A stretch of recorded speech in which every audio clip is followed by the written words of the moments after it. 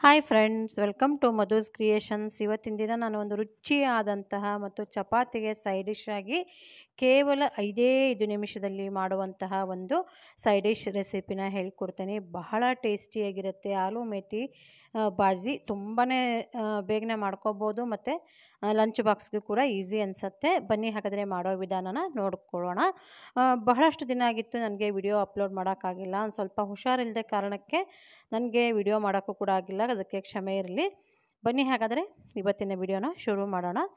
ಮೊದಲಿಗೆ ನಾನಿಲ್ಲಿ ಒಂದು ಪಾನ್ ಇಟ್ಕೊಂಡಿದ್ದೀನಿ. ಒಂದು ಎಣ್ಣೆನ ಒಂದು ಎರಡರಿಂದ ಮೂರು ಚಮಚದಷ್ಟು ಎಣ್ಣೆ ಹಾಕ್ಕೊಳ್ಳೋಣ. ಎಣ್ಣೆ ಕಾದ್ಮೇಲೆ ಒಂದು ಅರ್ಧ ಚಮಚದಷ್ಟು ಜೀರಿಗೆ ಹಾಕ್ಕೊಳ್ತಾ ಇದ್ದೀನಿ.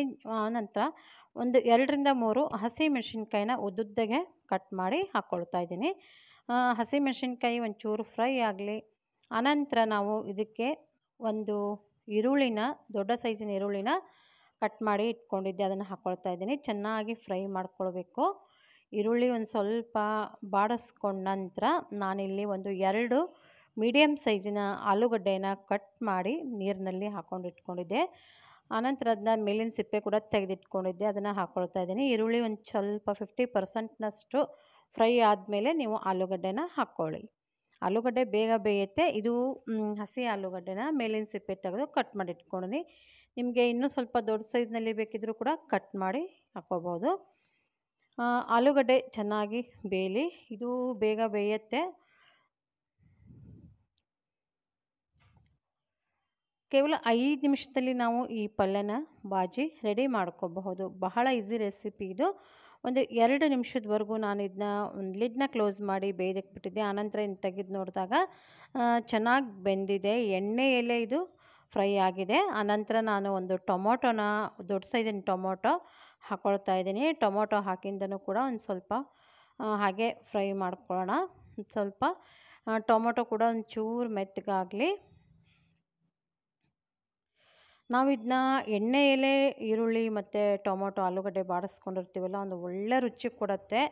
ಅನಂತರ ಒಂದು ಕಾಲು ಚಮಚದಷ್ಟು ಅರಶಿನ ಪುಡಿ ಸೇರಿಸ್ಕೊಳ್ತಾ ಇದ್ದೀನಿ. ರುಚಿಗೆ ಬೇಕಾಗುವಷ್ಟು ಉಪ್ಪನ್ನು ಹಾಕ್ಕೊಳ್ಳೋಣ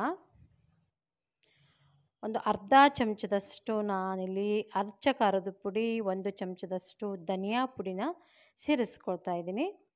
ಅಚ್ಚ ಖಾರದ ಪುಡಿನೂ ಕೂಡ ನೋಡಿ ಹಾಕ್ಕೊಳ್ಳಿ ಯಾಕಂತಂದರೆ ನಾವು ಆಲ್ರೆಡಿ ಇದಕ್ಕೆ ಹಸಿಮೆಣ್ಸಿನ್ಕಾಯಿನ ಹಾಕಿದ್ದೀವಿ.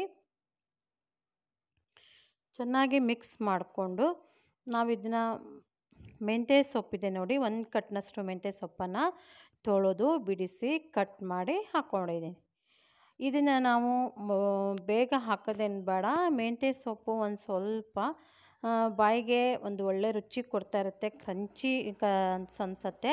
ಚೆನ್ನಾಗಿ ಸಾಫ್ಟಾಗಿ ಬೇಯಿಸ್ಕೊಂಡ್ರೆ ರುಚಿ ಅನಿಸಲ್ಲ. ಸೊ ನಾವೀಗಾಗಿ ಇದನ್ನು ಒಂದು ಅಷ್ಟೇ ಬೇಯಿಸ್ಕೊಳ್ಳೋಣ. ಜಾಸ್ತಿ ಹೊತ್ತು ಬೇಡ. ಒಂದು ಬೇಕಿದ್ರೆ ಒಂದು ಸ್ವಲ್ಪ ನೀವು ನೀರನ್ನು ಕೂಡ ಚಿಮ್ಕಿಸ್ಕೋಬೋದು. ನೋಡಿ ಇಷ್ಟು ಬೆಂದರೆ ಸಾಕು. ಕೇವಲ ನಾನಿಲ್ಲಿ ಒಂದು ನಿಮಿಷದವರೆಗೂ ಅಷ್ಟೇ ಬೇಯಿಸ್ಕೊಂಡಿದ್ದೀನಿ ಮೆಂತ್ಯ ಸೊಪ್ಪು ಹಾಕಿಂದ ನಾವಿಲ್ಲಿ ಈರುಳ್ಳಿ ಒಳಗೂ ನೀರಿನ ಅಂಶ ಇರುತ್ತೆ, ಮೆಂತ್ಯ ಸೊಪ್ಪಿನಲ್ಲಿ ನೀರಿನ ಅಂಶ ಇರುತ್ತೆ ಟೊಮೊಟೊಲ್ಲಿ ನೀರಿನ ಅಂಶ ಇರುತ್ತೆ. ಸೊ ಹಿಂಗಾಗಿ ನೀರನ್ನು ನಾನಿಲ್ಲಿ ಒಂದು ಸ್ವಲ್ಪ ಮಾತ್ರ ಚುಮ್ಕಿಸ್ಕೊಂಡಂಗೆ ಮಾಡಿದ್ದೀನಿ. ಅಷ್ಟೇ ಜಾಸ್ತಿ ನೀರನ್ನು ಹಾಕಿಲ್ಲ. ನೋಡಿ, ಇವಾಗ ಮೇಲೆ ಒಂದು ಸ್ವಲ್ಪ ಕೊತ್ತಂಬರಿ ಸೊಪ್ಪನ್ನು ಹಾಕಿ ನಾವಿಲ್ಲಿ ಸ್ಟೋವ್ ಆಫ್ ಮಾಡ್ಕೊಂಬಿಡೋಣ. ಬಿಸಿಗೆ ಮತ್ತೆ ಇನ್ನೊಂದು ಸ್ವಲ್ಪ ಬೇಯುತ್ತೆ. ಇವಾಗ ನಾನು ನೋಡಿ ಚಪಾತಿ ಹಿಟ್ಟನ್ನು ಕಲಸಿಟ್ಕೊಂಡಿದ್ದೆ. ಬಿಸಿ ಬಿಸಿ ಚಪಾತಿ ಮಾಡ್ತಾಯಿದ್ದೀನಿ ಚಪಾತಿ ಜೊತೆ ಒಂದು ಒಳ್ಳೆ ಕಾಂಬಿನೇಷನ್ ಇದು. ಆಲೂ ಮೆಥಿ ಸಬ್ಜಿ ಬಹಳ ಟೇಸ್ಟಿಯಾಗಿರುತ್ತೆ. ನೀವು ಕೂಡ ಟ್ರೈ ಮಾಡಿ ನೋಡಿ. ಚಪಾತಿ ತುಂಬಾ ಸಾಫ್ಟಾಗಿ ಬರಬೇಕು ಅಂತಂದರೆ ನೀವು ಒಂದು ಸ್ವಲ್ಪ ಐದು ಕೆ ಜಿ ಗೋಧಿನ, ಗೋಧಿಗೆ ಒಂದು ಎ ನಾಲ್ಕರಿಂದ ಐದು ಮುಷ್ಟಿಯಷ್ಟು ಸೋಯಾಬೀನ್ ಕಾಳನ್ನ ಹಾಕ್ಕೊಳ್ಳಿ ಹಾಗೆ ಒಂದು ಎರಡು ಮುಷ್ಟಿಯಷ್ಟು ಕಡಲೆಬೇಳೆನ ಹಾಕ್ಕೊಂಡು ನಾವು ಮಿಲ್ಲಿಗೆ ಕೊಟ್ಟರೆ ಚಪಾತಿ ತುಂಬಾ ಸಾಫ್ಟಾಗುತ್ತೆ ಹಾಗೆ ನಾವು ಇದನ್ನು ಹಿಟ್ಟನ್ನ ಒಂಚೂರು ಮೆತ್ತಗೆ ಕಲಸಿಟ್ಕೊಂಡು ಈ ರೀತಿ ನಾವು ಒಳಗಡೆ ಎಣ್ಣೆ ಹಚ್ಚಿ ಈ ಥರ ಬೇಯಿಸ್ಕೊಳ್ದೆ ಇದ್ರೂ ಕೂಡ ಒಂದು ಸೈಡ್ ಅಷ್ಟೇ ನಾವು ಎಣ್ಣೆ ಹಚ್ಕೊಂಡು ಬೇಯಿಸ್ಕೊಂಡ್ರೆ ಸಾಕಾಗತ್ತೆ. ತುಂಬ ಸಾಫ್ಟು, ಆಯಿಲ್ ಕಡಿಮೆನ ಹಾಕಿರ್ತೀವಿ ಮತ್ತು ತುಂಬಾ ಸಾಫ್ಟಾಗಿರುತ್ತೆ ಒಂದು ಸಲ ನೀವು ಹಿಂಗೆ ಟ್ರೈ ಮಾಡಿ ನೋಡಿ.